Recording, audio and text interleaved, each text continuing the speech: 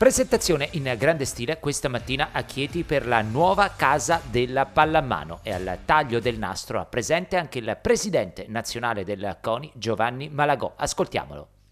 La pallamano ha scelto Chieti, è vero, però mi sento di dire che Chieti ha voluto e l'Abruzzo ha voluto l'Abruzzo, cioè non è un caso che siamo qua perché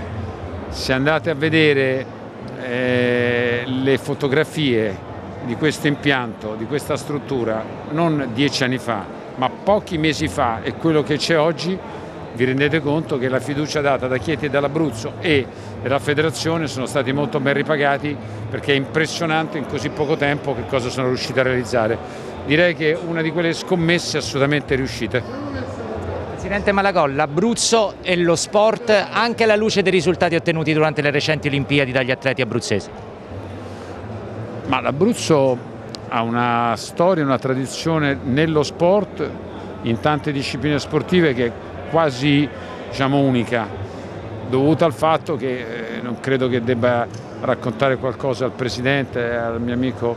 Marco Marsilio, per una solo collocazione geografica, ma una realtà in cui teoricamente può far tutto, a differenza, per carità, di altre regioni dove ci può essere qualcosa di più, qualcosa di meno, ma qui insomma nel raggio di pochi chilometri c'è un concentrato di opportunità di manifestazioni e eventi che è straordinaria. Credo che c'è, e lo stanno dimostrando, la volontà non solo di investire, ma di, di, eh, di eh, interpretare al meglio quello che oggi è le aspettative, le istanze della popolazione eh, verso lo sport e credo che questo sta succedendo, noi siamo molto orgogliosi di questo. Gaia Sabatini che guarda Parigi 2024. Gaia è una storia bellissima, eh, come d'altronde lo è lei come persona. Eh, l'ho sentita più di una volta, l'ho chiamata il giorno dopo che aveva vinto eh, l'Europeo e con quelle braccia alzate e soprattutto con quello sguardo al cielo che ricordava il suo papà, eh, una ragazza che è molto migliorata, è molto cresciuta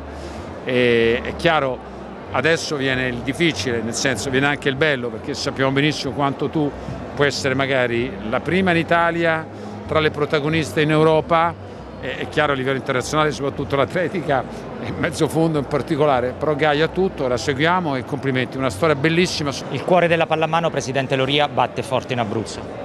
batte forte in Abruzzo e ci auguriamo che batterà ancora più forte in Abruzzo dopo questa inaugurazione ma soprattutto dopo la partenza del team federale Campus Italia che eh, ha cominciato a lavorare in questi giorni, che è presente a questa manifestazione, sono tutti i ragazzi selezionati del biennio 2004-2005, dovranno essere, speriamo, i nostri atleti olimpici del futuro. Una giornata di vero orgoglio per la città di Chieti, si apre una stagione per lo sport e per la ripartenza dell'intero paese che parte da Chieti e questo è senz'altro una cosa di cui ci freggiamo, il merito è dell'assessore Pantalone che ci ha lavorato alla Cremente. Siamo davvero soddisfatti di aver raggiunto questo importante obiettivo, questa sinergia con la Federazione Italiana Pallamano ci ha portati sia a riqualificare questa struttura sia a eh, portare tanti eventi e tanti altri ne verranno della nazionale maggiore di Pallamano ma anche del progetto Campus Italia. Un grazie particolare particolare al Presidente Malagò per aver tagliato il nastro, per essere venuto, è un orgoglio per noi, un motivo di grande orgoglio, grazie al nostro sindaco, al nostro vice sindaco e alla scuola di governo tutta.